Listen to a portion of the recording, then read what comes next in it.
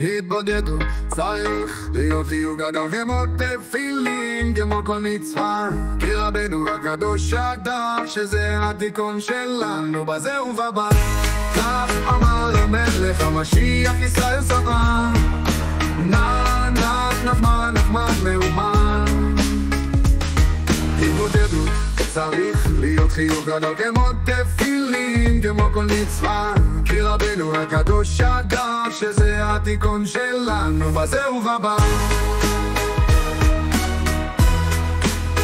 בזה ובבא.